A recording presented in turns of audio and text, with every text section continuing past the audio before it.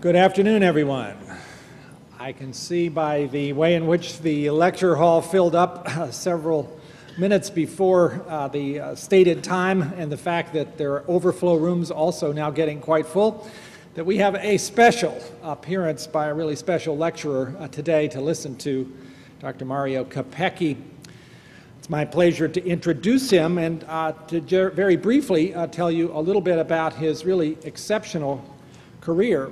I know of no other scientist of his level of distinction who also has such a compelling personal story. His grandmother uh, was a noted uh, portrait artist in the Impressionist style, and his mother, trained at the Sorbonne and who spoke several languages, uh, was a poet and uh, was involved in the late 1930s with other artists and writers in an effort to try to combat fascism and Nazism. His mother uh, moved uh, herself and him uh, to a village in northern Italy in 1937 uh, and anticipated the fact that she might be arrested uh, for her writings, and in fact was in 1941 and imprisoned. Mario at that time was three and a half years old. His mother had arranged for him to stay uh, with a local couple, uh, but the money ran out after a year. And Mario, at the age of four and a half, became essentially homeless. Uh, ended up on the streets uh, in Italy during the course of a very tumultuous several years. And then, in a rather dramatic rescue scene, on his ninth birthday, his mother, having been released uh, from her captivity, found him in a hospital, uh, quite ill, and rescued him and brought him to the United States, where uh, he went through a series of uh, remarkable educational accomplishments, encouraged particularly by an uncle who is a rather well-known physicist. Uh, ultimately, uh, went to Antioch College, ended up getting a PhD in biophysics at Harvard University, uh, with his thesis director being none other than Jim Watson himself. Watson, who Mario would tell you taught him not to bother with small questions and to focus on the big issues. And that, in fact, is what he has done.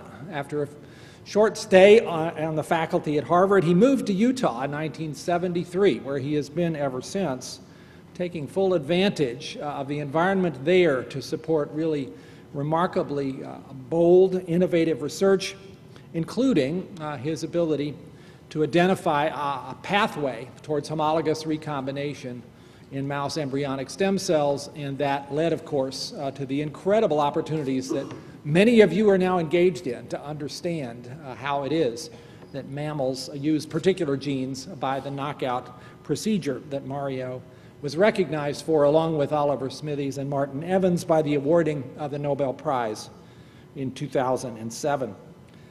In addition to the Nobel Prize, he's been a Howard Hughes investigator now uh, for 20 years. He won the Kyoto Prize and the Lasker Award. So it would be hard to identify someone uh, who has made more contributions to mammalian genetics uh, than Mario Capecchi, and it is my great pleasure and privilege to ask you to help me welcome him to the Mazur Auditorium.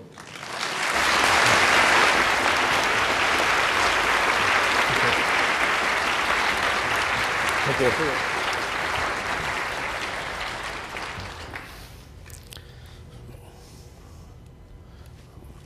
good. So can I be heard uh, uh, in the back? Okay, yes, good. Uh, what I'd like to do today is to tell you two stories. Uh, the first will be modeling a particular cancer, and the second will be modeling a neuropsychiatric disease. Um,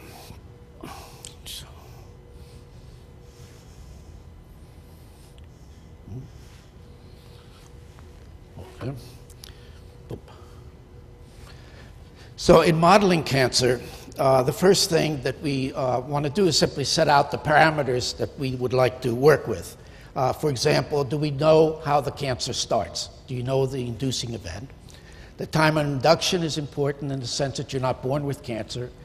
Uh, it is a somatic disease, and therefore it should be modeled as a somatic disease.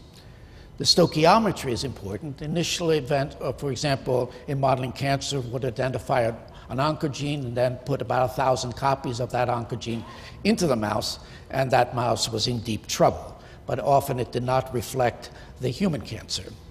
But the most important is actually the last that is, the molecular uh, environment of that cancer.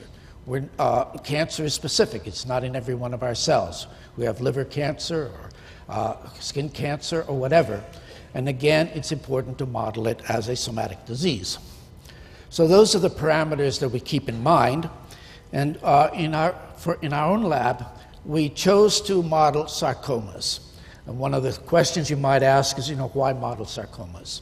They're not as common as carcinomas, obviously, but they do affect an important population that is, young children and young adults. So I think it's, though they're not common, they're affecting an important population. They're extremely aggressive. Uh, for example, uh, many of the sarcomas we're modeling, uh, the prognosis currently is that about 80% uh, of those children are likely to die within five years after first prognosis. Uh, so, and that hasn't changed very much in the last two to three decades. So that tells us we do not know very much about that cancer and that current efforts of chemotherapy, radiation, and surgery are not effective. And part of that is because they're extremely aggressive. That is, even at first presentation, they often are already metastasized. And uh, the initiating event for sar- sarcomas is likely known. That is, what's common to uh, many of these sarcomas, not all, but most, is a chromosomal translocation, uh, and a specific chromosomal translocation associated with each sarcoma. And that is likely to be the initiating event. So, for a modeler, uh, that's an enormous advantage. And then finally, I should point out that it is not as complex. That is, in most carcinomas, genome instability is a hallmark, an early event in the, uh, in the uh, etiology of that cancer, and therefore you have now thousands of things have happened to that cell. And the question is which ones are relevant to the cancer relative to the ones uh, that aren't, that are simply spurious as a consequence of genome instability. The karyotype of most sarcomas are actually quite simple. Often they just contain the chromosomal translocation, and thereby identifying uh, subsequent events that are required for progression and uh, finally full blown cancer, metastasis, are likely to be more easily identified uh, in sarcomas compared to carcinomas. And what we're hoping is that once you've identified a series of these pl players in a number of different sarcomas, you'll start seeing a pattern which may also be useful for carcinomas. Okay, so I told you that the initiating event is a translocation, and a translocation generates four different products. You're generating two new uh, alleles, that is, the fusion of two different gene products. Uh, these are all uh, the, uh, reciprocal translocations, and then you're also losing two alleles that are participating in the translocation itself. So the first thing you might ask is why not generate the translocation itself? And the reason we don't do that is simply that it's a, a, a, property of uh, numbers. That is, we can generate using Cre-Lox any translocation, and we've generated many different types of specific translocation using this system, but the frequency is around 10 to the minus 6, 10 to the minus 7th. And therefore, the pool of cells that then contain this translocation in a mouse is not sufficiently large to allow then secondary events to occur, then, then allow for the progression of the cancer.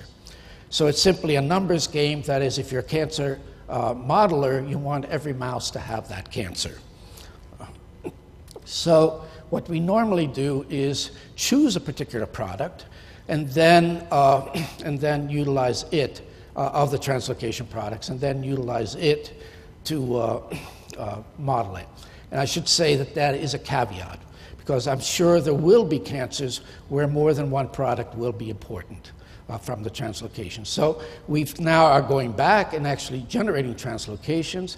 We've been able to increase that frequency to about 10 to the minus 2, and then hope that now that will be a frequency that can be used uh, to uh, model these cancers, but that work is still ongoing. Now, I just pointed out that the, what, the cancer I'm going to be talking about is synovial sarcoma. And when we started this, not very much was known about synovial sarcoma. What was known is that it uh, often occurs near joints. And that's where the name comes from. Synovial tissue is also near joints, and therefore people thought that maybe that's the source of that cancer. That turns out not to be correct. Uh, in terms of synovial sarcoma, so that was a challenge. So uh, we didn't know the tissue of origin. Okay, so again, with respect to modeling, particularly if you're doing conditional uh, uh, models, you want to know the tissue of origin so as to minimize the amount of work that you have to do to look at different tissues. Uh, in terms of the histology, it's also complex. There's monophasics, which are mostly spindle cells, mesenchymal cells. It's biphasic, which contains both mesenchymal cells as well as uh, ectoderm. And then finally, poorly differentiated, which simply means uh, cells with a small amount of, of cytoplasm and large nuclei. Now, the translocation in this case involves chromosome 18, and the product that's involved in the translocation is SYT. Uh, and then the other product is SSX1. There, in humans, there are six SSX1 genes, they're all on the X chromosome, and the participants are usually one and two. There's one case of uh, SSX4. And the, uh, these are essentially chromatin remodelers, but they're uh, surprisingly, SYT is involved in activation, and SSX is involved in repression. And the fusion gene, shown in the next slide, involves both. Essentially, it contains almost the entire SYT gene, therefore has the transactivators present, uh, whereas uh, it contains half, but also the repressive domain with respect to SSX 1 or 2. Now, in this case, I'll, I'll always be saying we. Uh, I always means the royal we, uh, and in this case, it's a, uh, a, a, graduate student. His name is Haldar. Now, in uh, the other aspect of this modeling this particular cancer uh, often cancer, the uh, fusion genes have a, a, number of properties that are important. One is, is the new protein, which involves parts of both genes. And the other is uh, the cis elements, which are driving where this particular gene is being, uh, where is operating. Uh, and in this case, we lucked out in the sense that uh, SYT, which is the main driver in terms of space, is ubiquitously expressed. So we didn't have to worry about space. And so we modeled it simply by putting the cDNA, which is the human cDNA itself, and the first one that he pulled out uh, was SSX2, so we decided to use SSX2. And then we put it into the ROSA locus, which is ubiquitously expressed, and then in front of that you put a stop sign, a flanker with LOXP sites, and then uh, that makes it dependent on CRE, and then once you have CRE, you take out the stop sign and thereby control where it's made.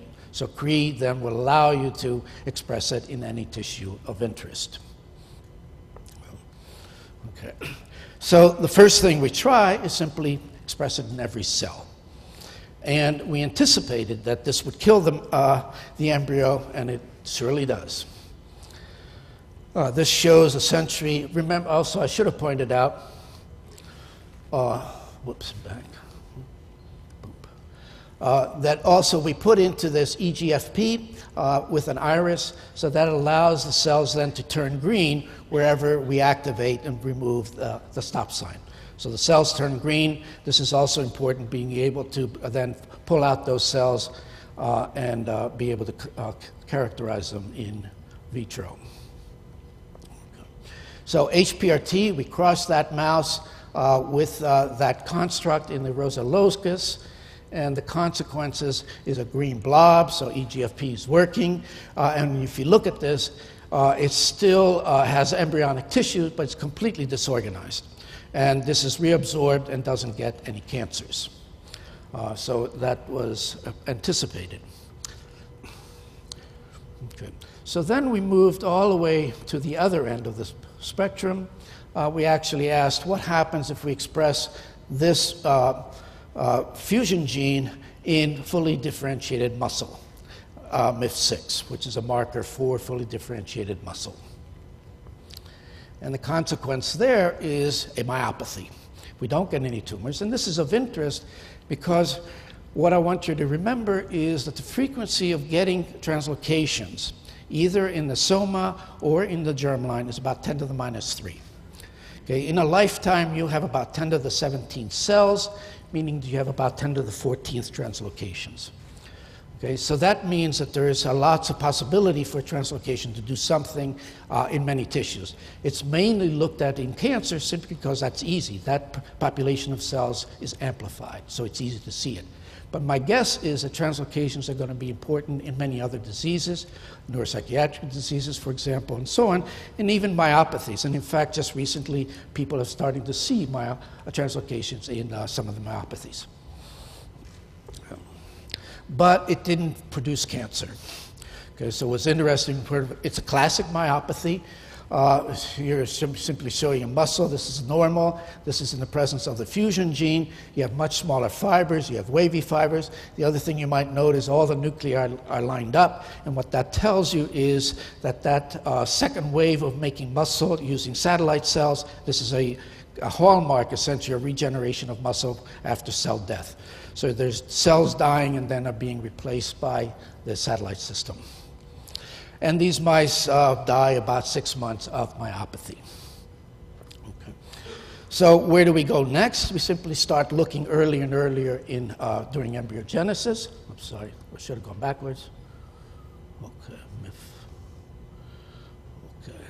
Uh, and here it is. Uh, so we looked at PAX3 Cre, we made a PAX3 and a PAX7 Cre. These are early steps in the lineage of making muscle. And I should have also pointed out why muscle? and the reason we went for muscle is that's the other thing that's often in, uh, in joints. Okay? You have to move those joints, and therefore there is muscle there, and therefore that was, to us, a good candidate. Uh, so we looked at a whole series uh, of, uh, of, uh, of, muscle drivers uh, in progenitor cells, and what we found there was that these mice die and therefore didn't give rise to tissue. To what am I doing?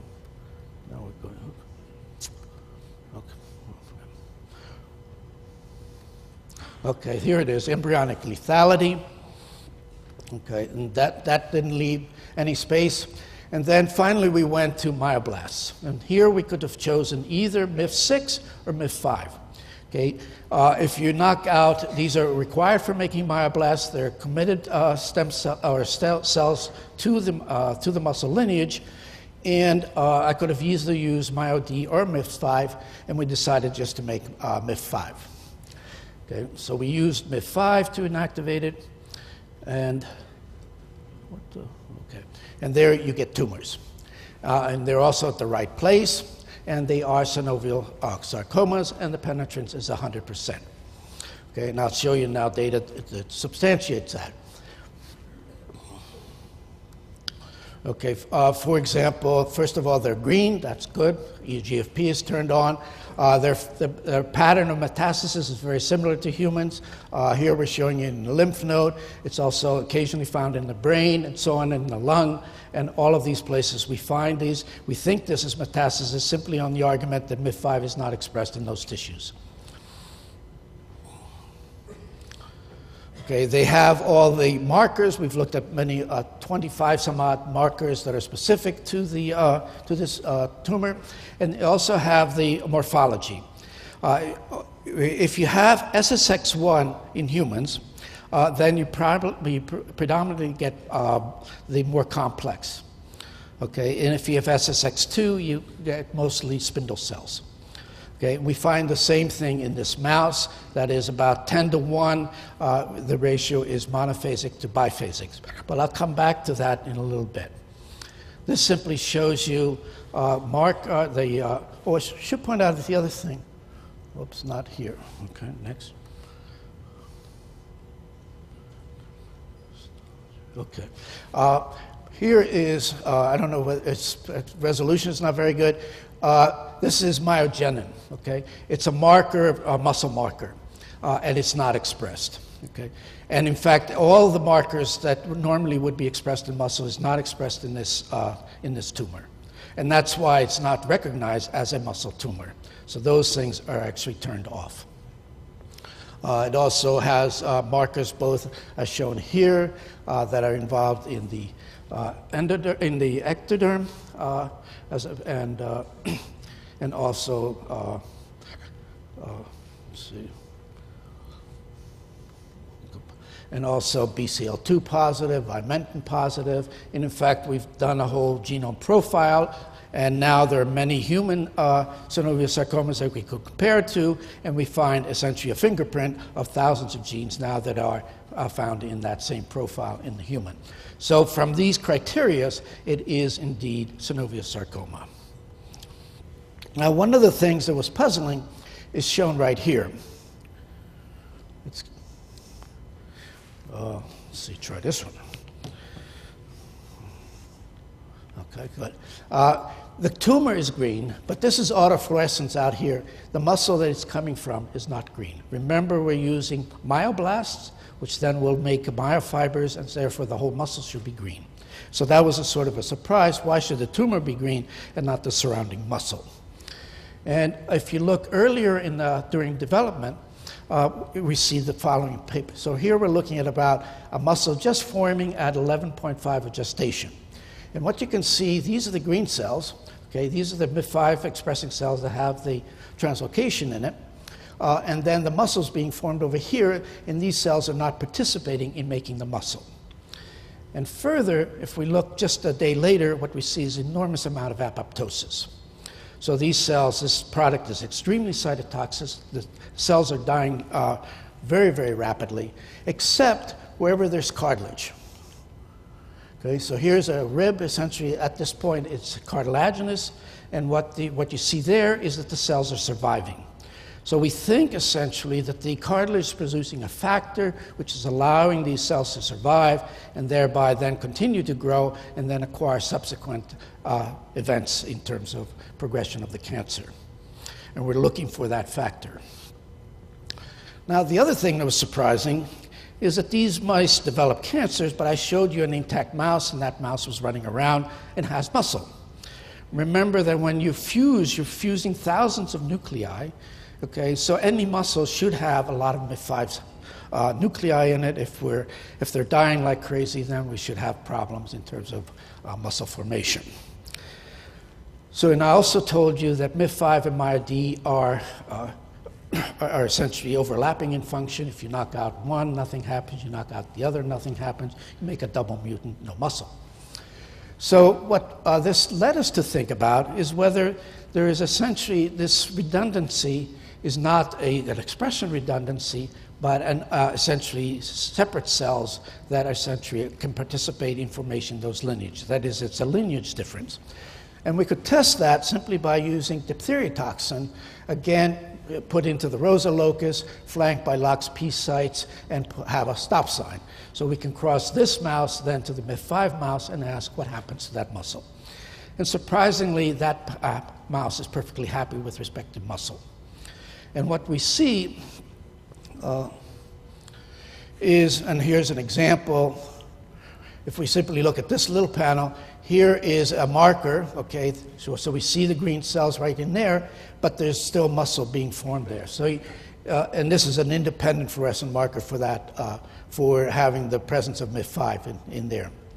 Okay, so what that tells us is that when we knock out the MIF5, that's down here showing in the presence of DTTA, now the muscle's still there, and therefore uh, it you know, must not contain MIF5 cells, and indeed that's what we, uh, myod's, uh, MIF5 cells, right? And that's what we find. And what we see if we do RT-PCR, uh, MyoD essentially all of a sudden starts increasing in expression, and that lineage is compensating for the loss of the MIF5 lineage.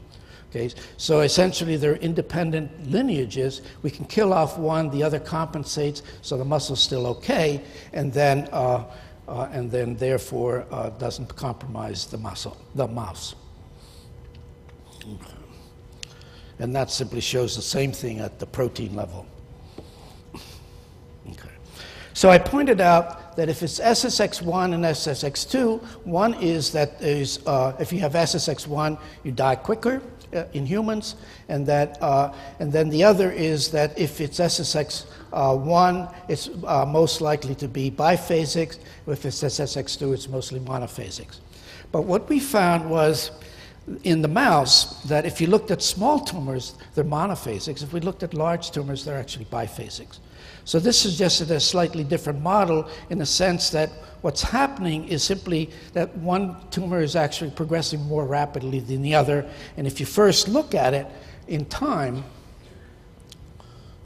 uh, so with SSX1, uh, we're looking down here, and at first uh, looking at it, they're already biphasics, whereas SSX2 at this point, they would be monophasic. And so that predicts that it's a difference in time, and we can now, we're doing retrospective analysis in the human tumor to see whether this hypothesis holds up. So in summary, what I've showed you essentially is that uh, the muscle lineage is, uh, appears to be the uh, source of origin of this tumor, and that we've also essentially been able to model it by putting the fusion gene into the myoblast, and in particular the MIF5 expressing myoblasts. Okay, so now I'll turn to the second uh, story, and that is the uh, neuropathy. And in this case, we is uh, two uh, graduate students, a first phase and a second phase. The first one is Joy Greer, uh, and the second uh, phase is uh, Chen. So we got into it by accident. We've been long interested in, uh, uh, in uh, Hox genes, uh, and we've inactivated all of these Hox genes and studied what they do.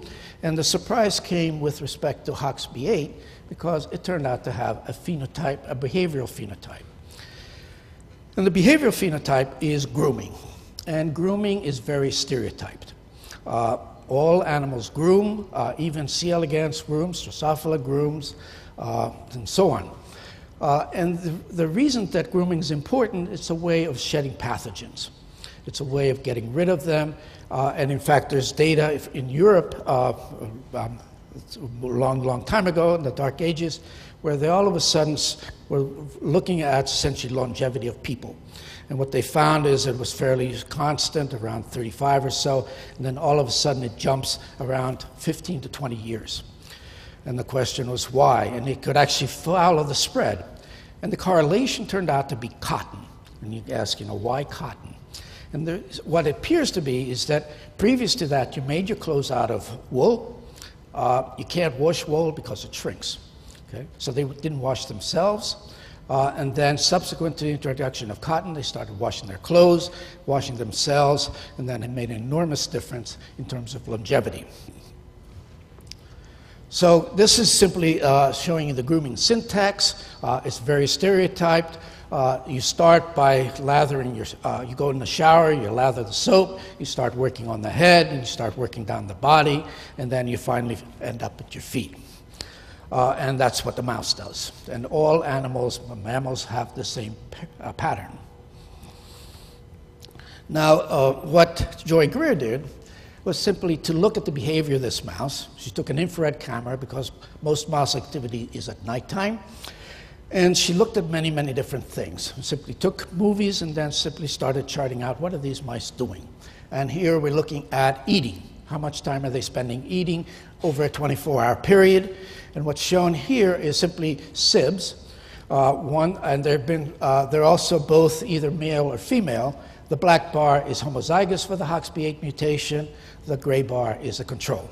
And what you find is that you see a pattern and you average it over, and they spend the same time out eating. Okay?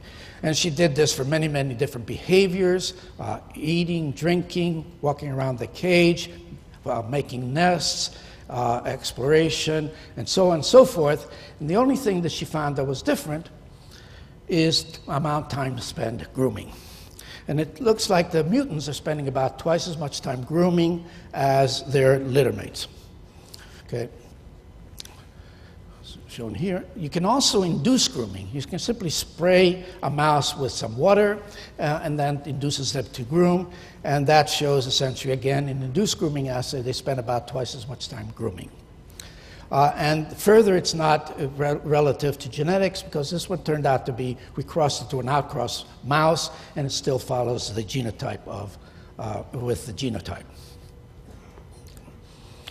Okay, I told you one slight error, and that is if actually we look at how much time they spend sleeping, they spend about a couple hours less sleeping, and that's because the rest of the time is spent grooming. Okay, so, uh, so it's simply a switch. Uh, switch. Okay. Now, the grooming is pathological. And I'm going to show you a movie that actually illustrates that. Uh, and what you want to see is when the mouse turns, what you'll see is that they actually remove the body hair at, the, at those regions that is accessible to it. So this mouse should turn, it spends a lot of time grooming. There, okay, so it moves all the body hair. And it's not only that it removes the body hair, but it continues to groom until it has lacerations. And at this point, then we have to put it to sleep. Now, this is very similar to OCD and OCD spectrum disorders. OCD, for example, patients are often washing their hands and they continue to wash their hands, and sometimes they actually develop lacerations. They're not getting a feedback saying that their hands are clean and they're satisfied with that.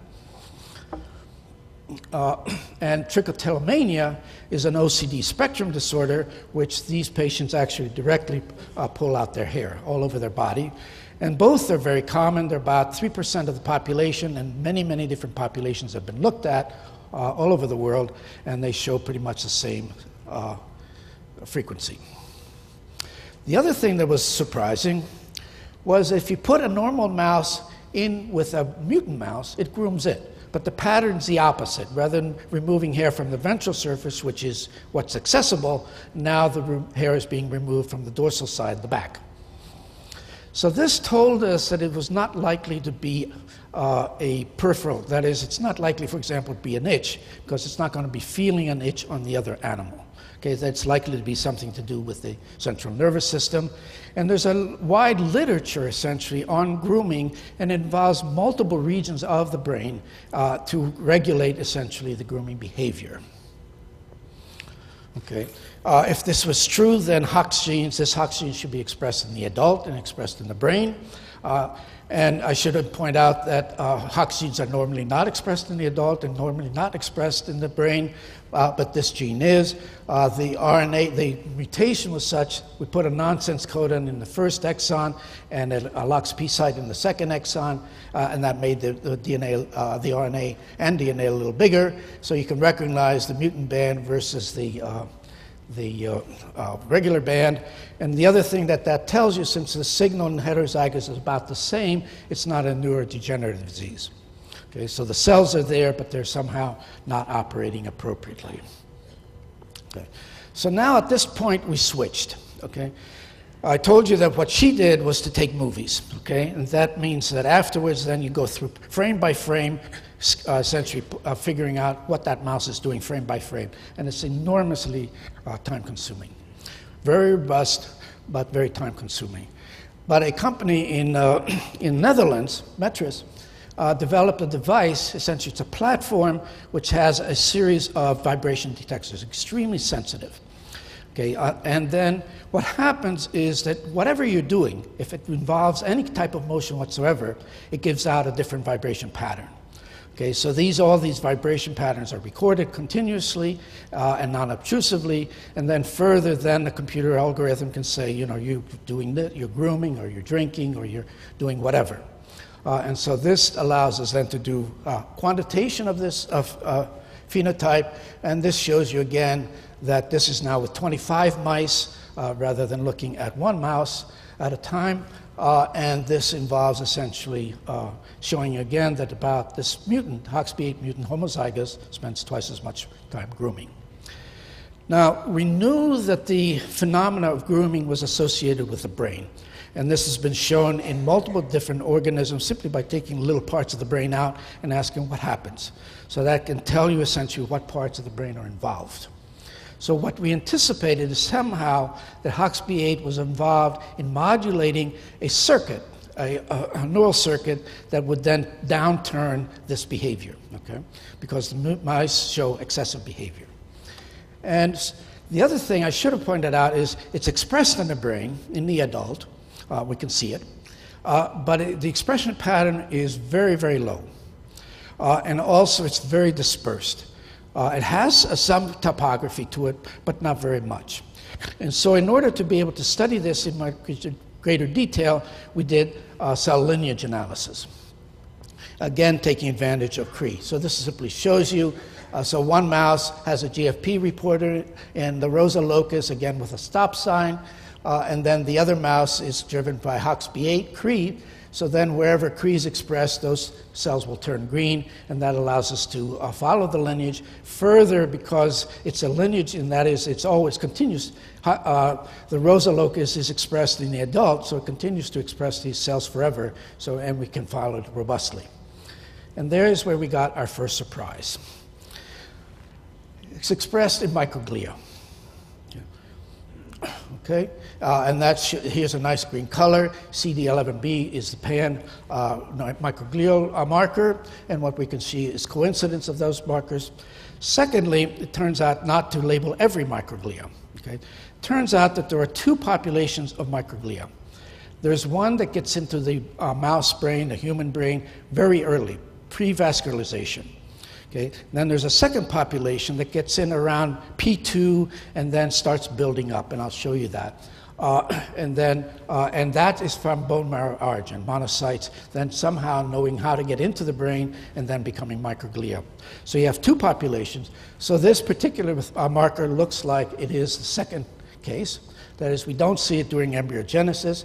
Then, if we look at P2, what we can see, for example, we can see buildup at the choroid plexus, uh, and then we see buildup at the ventricular uh, lining.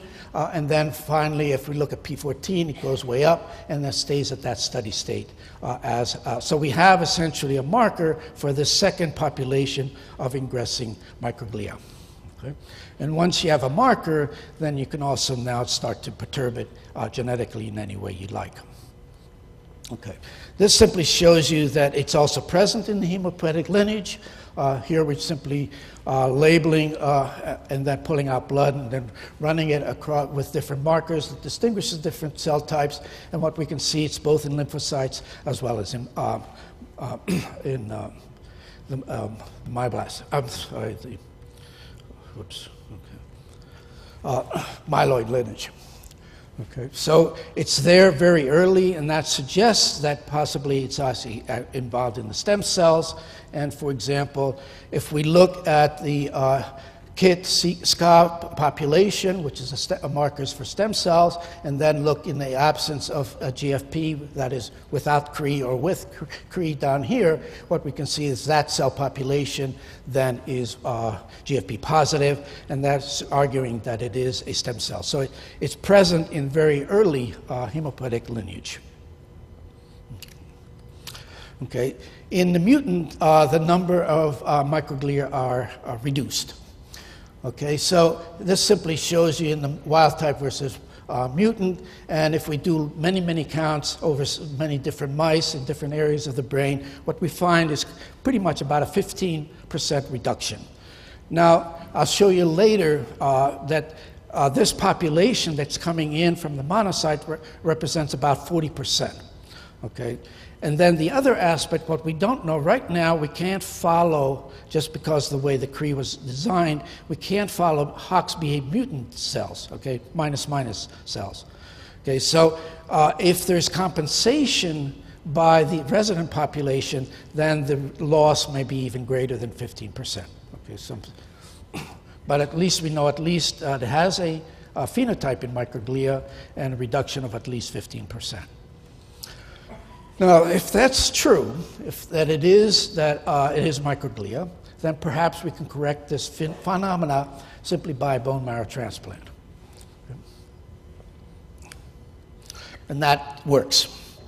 Okay, this shows you essentially a mouse uh, about uh, four weeks after bone marrow transplant. So it's a HOXB8 mutant mouse. It's removed. Uh, it's removing its hair. It continues to remove its hair, and then about two months after transplantation, all of a sudden, all of that hair uh, uh, comes back, uh, and it's perfectly wild type, indistinguishable from wild type. Further, also, the, if it has lacerations, those are healed, and so on. And this mouse appears to be wild type. And also, if we simply look at the time spent grooming grooming, which is by the Labaris uh, platforms. Here's wild type, here's HOXB8 mutant mouse, and these are the rescued mutants. Okay, so that tells us essentially by doing a bone marrow transplant, we're correcting a behavioral deficit. Okay, we can do the opposite experiment. We can take uh, bone marrow from a, a, mutant mouse and put it into a wild type mouse. And that is, uh, gives it the phenotype of a, uh, of a mutant. And again, in terms of uh, grooming now, uh, it is uh, it is a mutant. I mean, it's not increased as much, but, I mean, but it is increased relative to wild type. Okay, so it's uh, not, not working quite as well. But here we're pooling essentially. Remember that engraftment is variable okay, how much bone marrow actually then once you, these are irradiated mice, so we're killing its own uh, source, and now we have to engraft, and the, the amount of cells that engraft is variable from individual to individual. And when we're looking at the uh, behavioral phenotype, then we're looking at all of them pooled together. Okay. So the complication was that uh, these mice also have uh, a defect in pain, uh, no, no, no deception. Okay, so, uh, and actually other people had published, uh, after we published, you know, the behavioral phenotype, that this might be actually the source of the grooming mis uh, mischief. Okay? So we indeed see uh, nociceptive uh, defects in these mice. Uh, one crude look is simply to look at the spinal cord uh, and then simply look to see how many neurons are in the dorsal aspect of the spinal cord. And what you can see is, uh, if you look at this and you actually can confirm it by counting, uh, that there are fewer neurons. But it, this is much more dramatic if you look at actually markers uh, in the dorsal spinal cord. Uh, CGRP, which is actually uh, labels the incoming inference of axons into the coming into the uh, spinal cord or using clobidin and calretinin, which are actually labeling these interneurons, which are, receive the majority of inputs for pain and uh, itch. And so what you can see is that here's the wild type pattern, here's the mutant. You can see a lot fewer neurons in that region, and also it's been disorganized relative to uh, wild type. So there is a defect in the spinal cord, and you can also see this simply by behaviorally putting these uh, mice on a hot plate and seeing how quick do they react. And what you can see is relative to wild type, they take much longer to react to this, uh, uh, to this uh, thermal stimuli. Okay. Now, the thing that uh, puzzled us then, if we look at our mutants that we've rescued, okay, these are the HOXB8 mutants, which we put essentially wild type bone marrow into them and rescue them with respect to grooming time as well as uh, hair removal. What we find is that the nociceptive defect is not affected. Okay? So this to us indicated that maybe those two are separable. Okay, that we could separate the behavioral phenotype uh, in one case in terms of grooming behavior relative to the other behavior, which is uh, uh effect with respect to uh, thermal or noxious agents. Okay. So what we've done is simply to do conditional mutagenesis. Okay? So what we can do is simply knock it out in the hemopoietic uh, lineage, and in this case we use TIE2. TIE2 is expressed both very early in the hemopoietic lineage as well as endothelial cells. So both are being uh, are, are expressed in there, uh, but it's not expressed essentially in the spinal cord, for example, and so on. And so what happens with this is, first of all, uh, we do label cells, uh, microglial cells in the brain, uh, so that's good. Uh, and we also generate essentially the hair removal phenotype as well as now uh, increased grooming time with respect to measuring how much time they spend in grooming. Okay? So that essentially says that uh, that those mice essentially have the full blown behavioral phenotype. On the other hand, if we look at their uh, effect with respect to uh, re- reaction to a hot plate, now they're identical to the control mice. So it does not correct the nociceptive defects. So that allows us then to separate essentially the behavior from the uh, uh, spinal cord defects. And we can also look essentially at the spinal cord itself. Okay, so here's wild type, uh, and this in terms of calbinomin, calretinin. Uh, here is HOXB8 mutant, and what we see is the pattern is essentially the same as wild type. Okay, so we're not affecting anything that's happening with respect to interneurons in the spinal cord by inactivating this gene only in the, uh, in the hematopoietic lineage.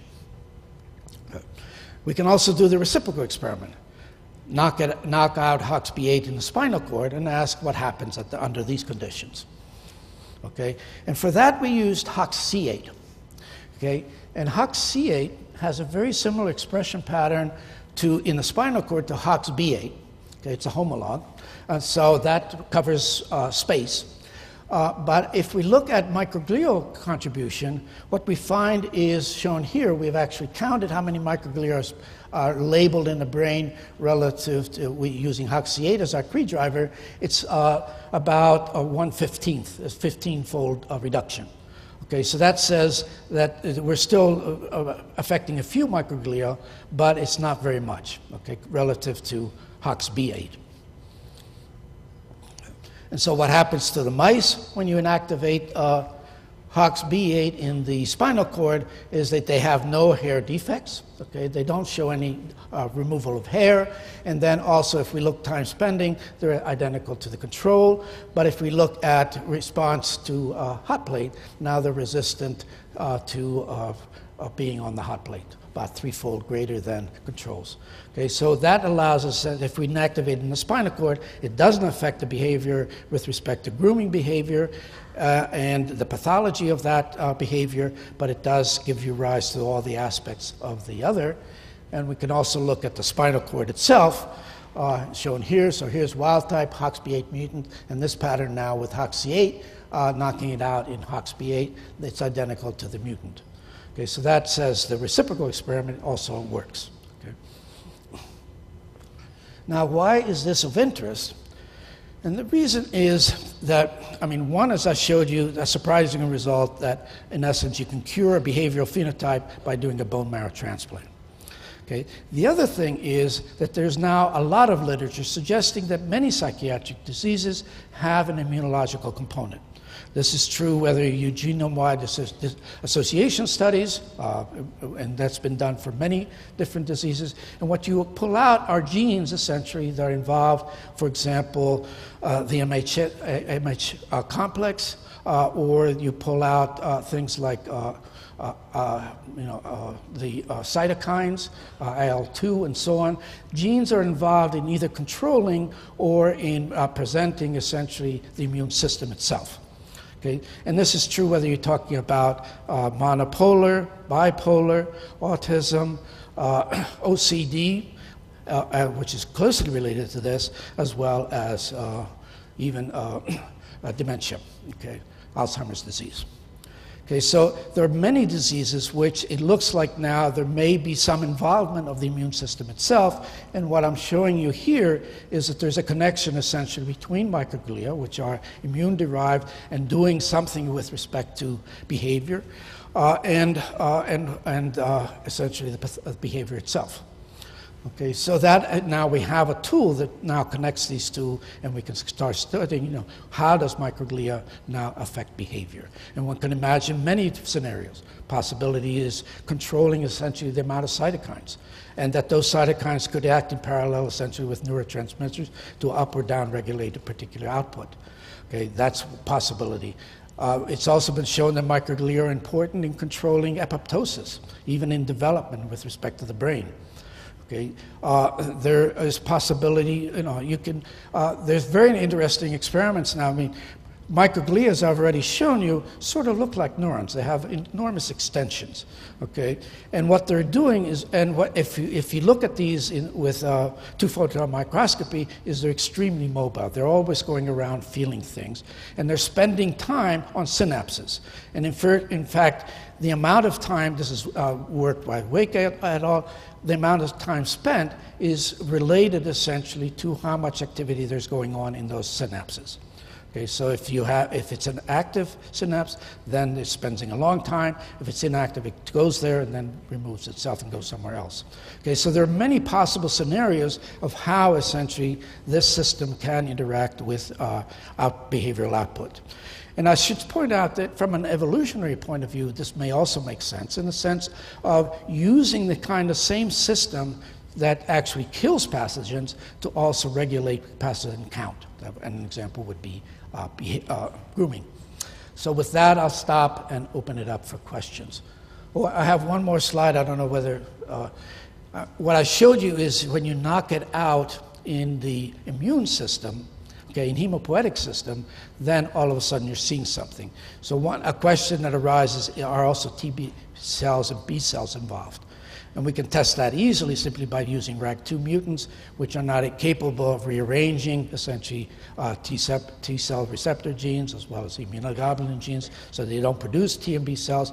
And the answer is that uh, um, uh, bone marrow from RAG2 mice works, but doesn't work quite as well uh, with respect uh, compared to normal uh, bone marrow.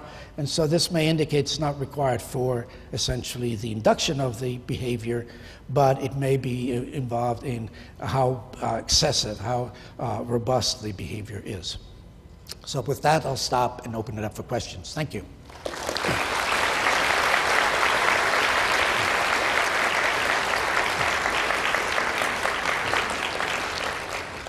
So those who have questions, please approach the microphones in the aisles, and we have time uh, for some conversation here.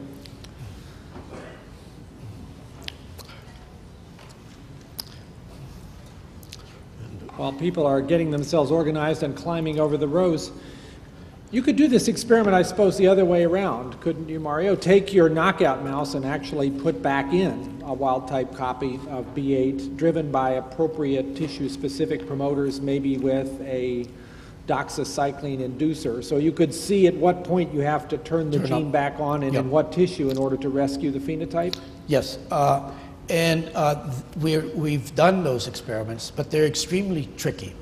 Um, it turns out that uh, if you uh, transgenics with any HOX gene is lethal.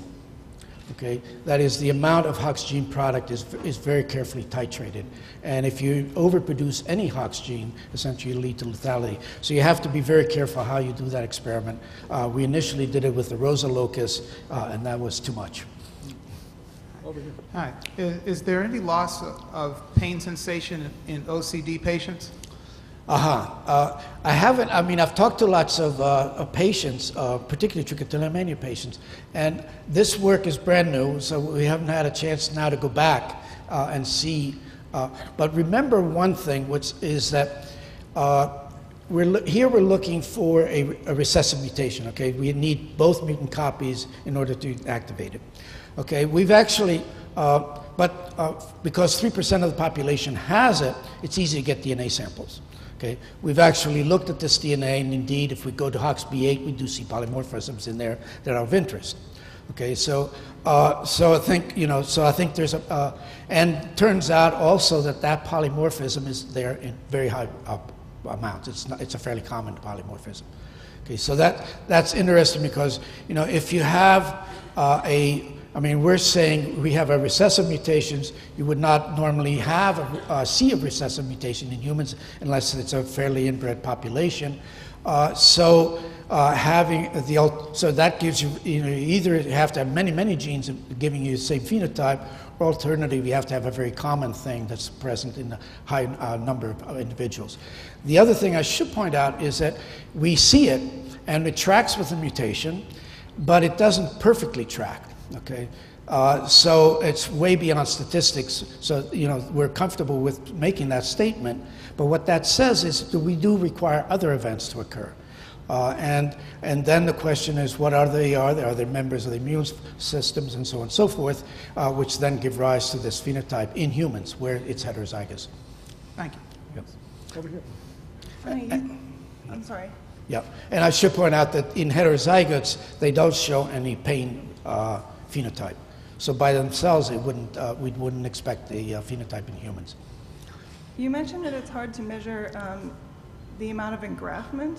Have Uh-huh. you thought of um, using donors that are congenic, have congenic markers, and that would be the only difference? Especially if you're doing wild type sure, sure.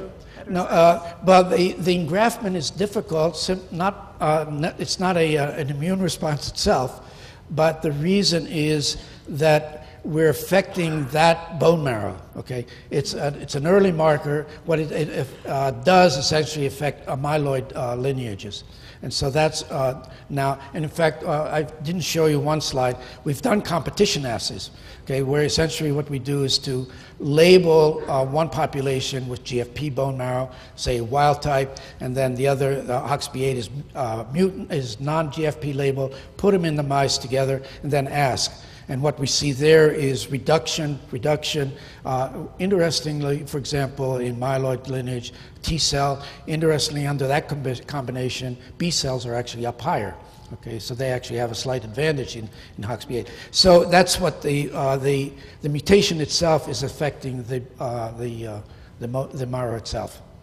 Yeah, so it's not a, it's not, uh, we, we use our inbred mice and so on, so we hope that it, we're not having problems of rejection.